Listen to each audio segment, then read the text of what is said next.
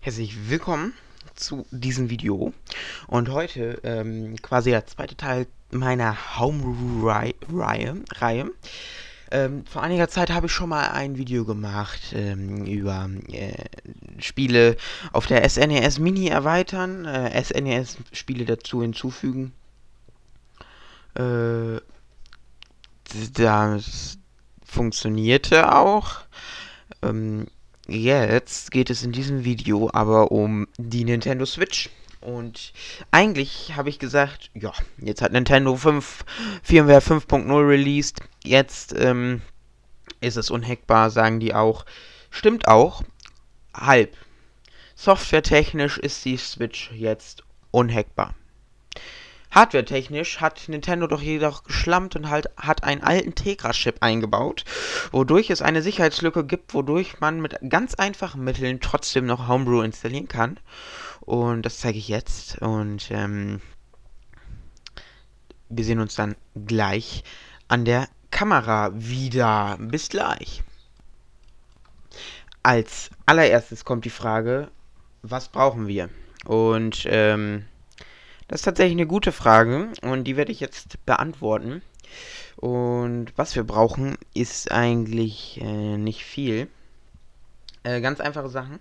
Wir brauchen eine Switch, ein USB SD-Karten-Lesegerät. Ich habe jetzt das, was mir als erstes von Amazon vorgeschlagen wurde, benutze ich für vieles. Ist ganz gut, kann man nutzen. Und äh, ein USB-C ähm, Kabel für die Switch. Ich benutze sogar das Originale, einfach weil Original. So, jetzt um zu zeigen, ähm, was wir brauchen, ähm, gehen wir mal wieder zurück zum PC. Äh, bevor wir das aber machen, zeige ich nochmal eben, was, ähm, was wir noch machen müssen. Ist entweder es gibt drei Möglichkeiten, äh, diesen, ich sag dazu jetzt mal Hard-Mod, äh, Hardware-Mod zu machen. Man kann entweder eine Wäscheklammer so ähnlich irgendwie formen. Äh, Würde ich nicht empfehlen, ist das komplizierteste. Ähm, das ist entweder eine Möglichkeit, die habe ich erst benutzt, ähm, entweder oder man kann sich aus dem 3D-Drucker sowas ähnliches wie diese Wäscheklammer aus Plastik drucken lassen. Das ist natürlich viel komfortabler, wahrscheinlich sogar die einfachste Möglichkeit, nur in Deutschland ziemlich schwer aufzutreiben. Oder ähm, die dritte Möglichkeit, die ich nutze, man kann äh, auf zwei Arten seinen rechten Joy-Con, wir brauchen den rechten Joy-Con, der linke ist jetzt erstmal irrelevant.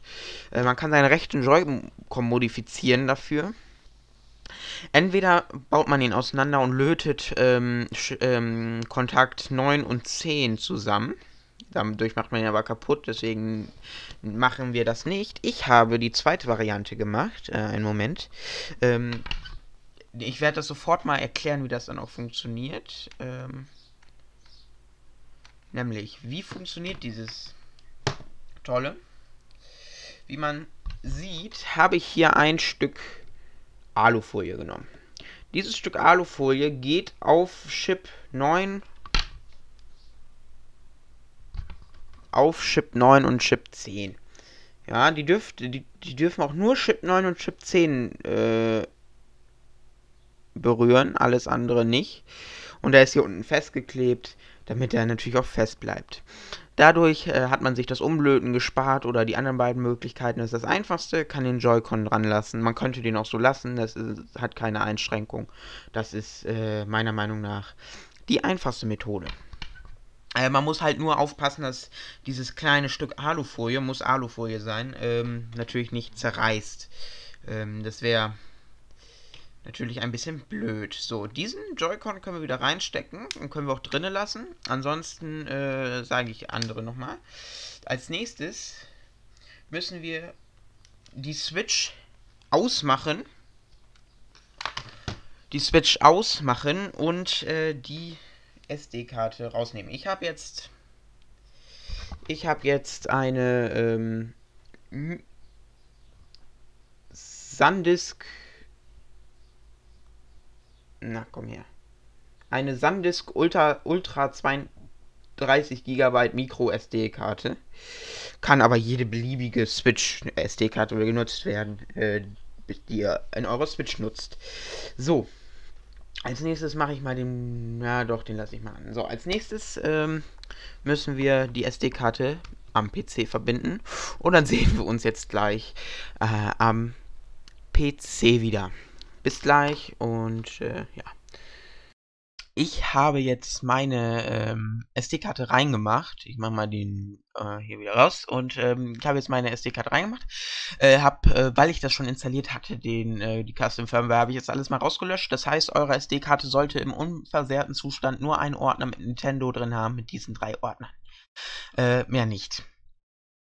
Ähm, dafür packe ich euch jetzt einen Link in die Beschreibung. Da kommt ihr auf diese Seite auf github.com und dort könnt ihr, müsst ihr euch den payload.bin und sdfiles.zip runterladen. Das ist dann ähm, dieser Ordner.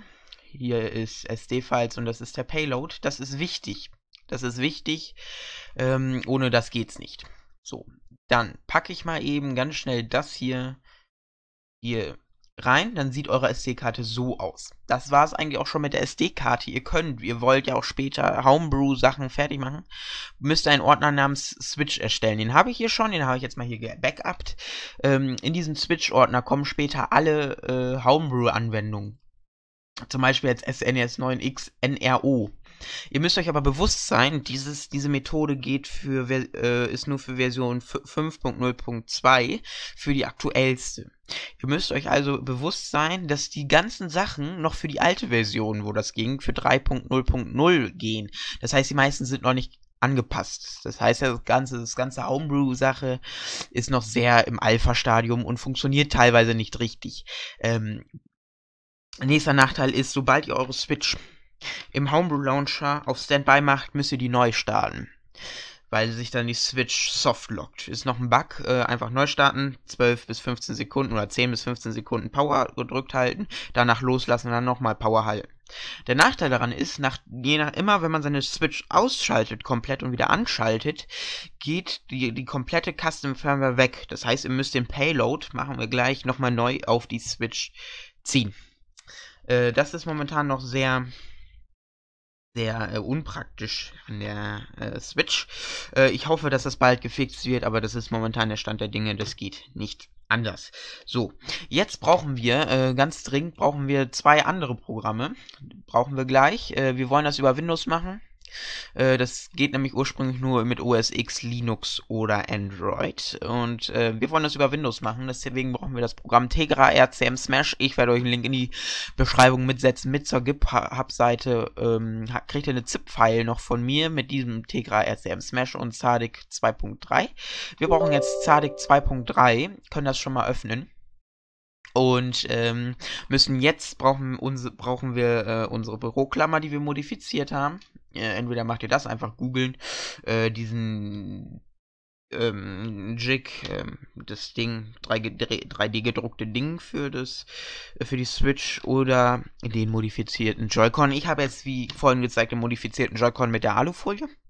Ähm, das ist meiner Meinung nach auch die beste Variante. Okay, ähm, hätten wir das. Dafür müssen wir jetzt unsere Switch in den Recovery-Modus setzen. Dafür tun wir unser modifizierter Joy-Con in diesem Fall oder die Büroklammer oder was auch immer ihr dafür nutzt, äh, in die Switch, in den rechten Port. Das muss der rechte sein, der linke ist irrelevant für die, für, äh, die Custom 4 Äh, muss der rechte sein. Dann drücken wir Power lauter und den An-Button. Dann kann man nach zwei Sekunden loslassen und die Switch sollte nicht angehen. Wenn bei euch die äh, trotzdem das Nintendo-Logo kommt, habt ihr was falsch gemacht und müsstet, müsstet entweder äh, Feinjustierungen machen oder es funktioniert bei euch nicht. Äh, wenn, wenn aber alles äh, vernünftig angesteckt ist, äh, verbunden ist und so, sollte die Switch jetzt trotzdem ihr den äh, Power-Button gemacht habt, noch ausbleiben weil ihr ja noch den Lauter-Button mitgedrückt habt. Ihr müsst erst den Lauter-Button drücken und dann an. Ja? So, jetzt seid ihr, jetzt seid ihr im Recovery-Modus. Jetzt könnt ihr das USB-C-Netzteil anstecken. Und Windows sollte euch eine Meldung, dass ein Gerät dran ist. Aber es sollte keine Meldung kommen oder hier ACX müsste da stehen. ACX wird eingerichtet. Wenn da Nintendo Switch steht, habt ihr was falsch gemacht. Da muss ACX oder irgend äh, so ähnlich auf jeden Fall. Wir können ja mal eben im Gerätemanager gucken. Im Gerätemanager unter USB-Gerät, äh, unter irgendwelchen Geräten. Jetzt finde ich das selber nicht. Hm.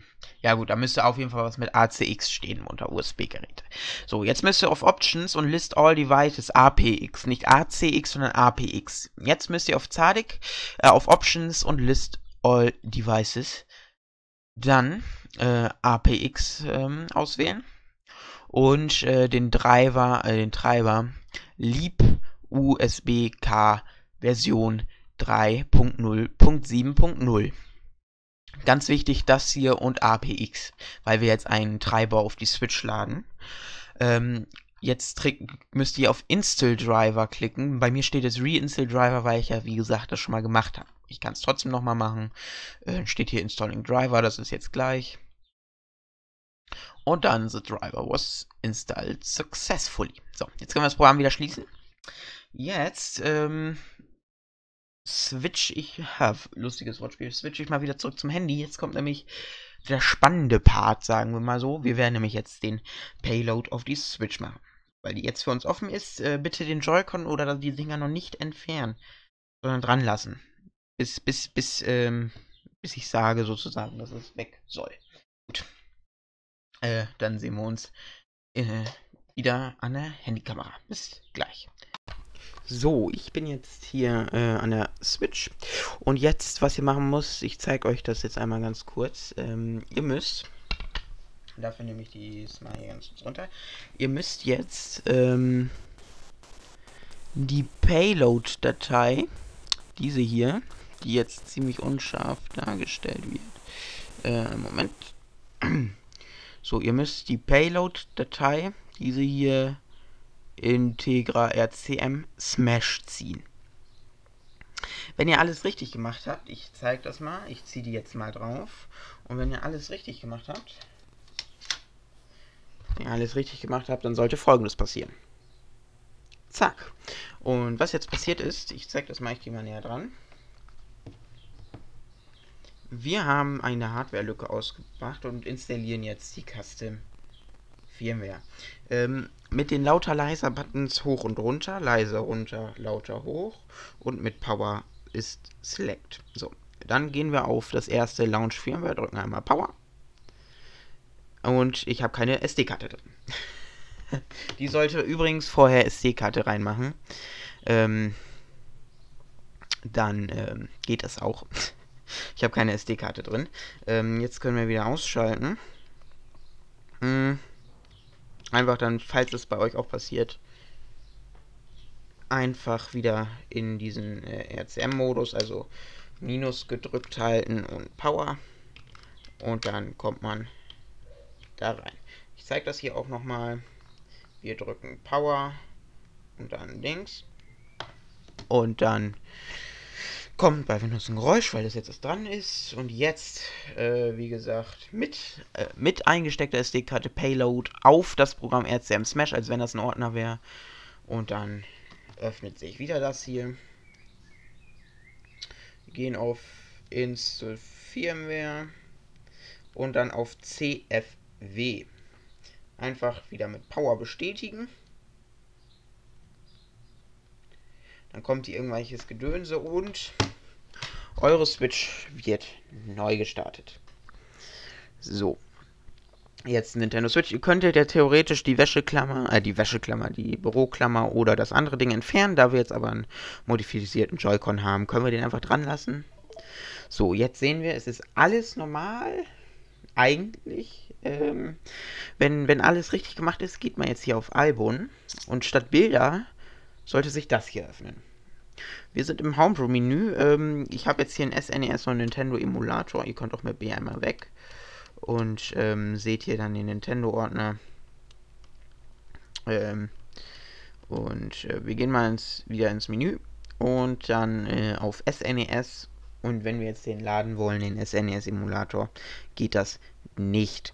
So, mit einem Home Klick kommen wir wieder zurück ins Normale. Wir können auch ganz normal die Spielekarten reintun und nutzen. Das ist kein Problem. Jetzt, wenn ich jetzt mal auf Standby gehe, jetzt geht das. Ähm, solange das auf Standby ist, geht Wenn ihr in diesem Homebrew Launcher seid, in diesem drin und dann auf Standby klickt, äh, dann softlockt sich eure äh, Switch und äh, ihr müsst den Payload, nur den Payload, ihr müsst nicht alles wieder neu auf die SD-Karte ziehen, sondern ihr müsst nur den Payload wieder ins, aufs Programm ziehen und dann hier äh, auf Install CFW ähm, klicken. Ähm, dann ja, und bei jedem Neustart. Ähm, wenn ihr die komplett ausschaltet und wieder anschaltet, müsst ihr das machen. Wenn das einfach hier im Home-Menü, wenn ihr, das heißt, bevor ihr, äh, wenn ihr im Home nutzt, äh, immer einmal Home drücken und dann ähm, hier, hier im Menü dann auf Standby. Dann könnt ihr sicher sein, es bleibt installiert und ähm, ihr könnt die auch noch normal nutzen. Genau. Zum Beispiel jetzt Jetzt hat sie sich gesoftlockt, jetzt kann ich hier drücken, wie ich will. Äh, jetzt muss ich, kann ich einmal vorführen. Ein, zwei, drei, ein paar Sekunden halt äh, den Knopf gedrückt halten. So, und dann nochmal. Und dann passiert nichts, auch gut.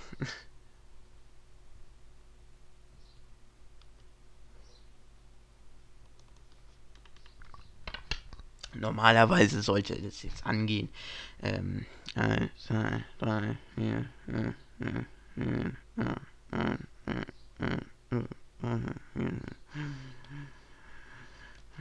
so, das sollte reichen. Es waren jetzt auch tolle Sekunden gezählt. ja, jetzt läuft es. Wir müssen halt nur lang genug drücken.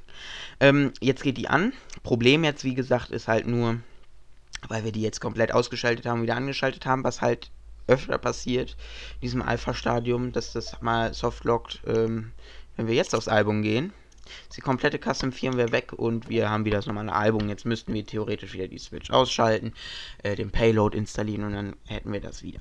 Da momentan aber sowieso kaum was mit der 5.0.2 funktioniert, außer der reine Launcher, ist das jetzt nicht allzu schlimm. Aber es ist zur Demonstration, ey, äh, Switch Firmware, äh, Custom Firmware funktioniert auch auf der aktuellsten Version und das kann nicht ähm, verbessert, äh, kann nicht äh, gefixt werden, solange Nintendo keine neue Switch äh, rausbringt. Weil das Hardware-technisch ist. Das ist sozusagen Hardware-Mod, ähm, den wir hier vormachen. Und da das Hardware-technisch ist, kann, die, kann Nintendo mit Software-Updates da so viel nachliefern, wie die wollen. Das wird nichts bringen. Gut. Von mir war es jetzt. Äh, ich hoffe, ihr habt viel Spaß mit Homebrew. Falls irgendwas Neues kommt ähm, zu Switch Homebrew, werde ich sicherlich auch nochmal ein Video machen, wo wir ein paar Spiele antesten, da das momentan nicht funktioniert. Zumindest bei mir erstmal nicht. Dann sehen wir uns beim nächsten Mal wieder. wahrscheinlich sogar bald äh, nicht mehr mit diesem Mikro hier. Ich bekomme morgen neues. Ja, das wird toll. Ja. Und es ist jemand online. Gucke ich gleich. Äh, muss ja nicht jeder wissen, mehr mehr. So. Dann bis zum nächsten Mal und äh, ciao.